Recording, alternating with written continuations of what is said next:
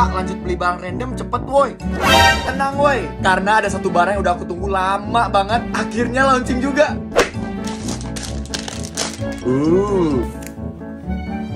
Guys, kalian lihat? Jadi ini namanya Boom Times Gate. Kira-kira fungsinya buat apa? Yuk kita nyalain. Uh. Nah, kita konekin dulu. Nah, kita tunggu dia connecting. Nah, udah connect. Jadi masing-masing layer di sini bisa aku custom guys isinya. Nih, kalian lihat ini yang aku custom. Tuh muncul di sini. Keren banget ya. Nih aku matiin lampu ya biar lebih kelihatan. Tuh, terus gak cuma dari template aplikasi, aku bisa ganti layar ini jadi muka aku guys. Nih kalian lihat ya. Ini, ini, terus ini, terus ini juga, sama ini.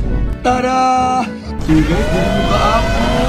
Terus kita taruh deh di sini. Sumpah ini keren banget. Tuh, meja aku jadi makin estetik deh.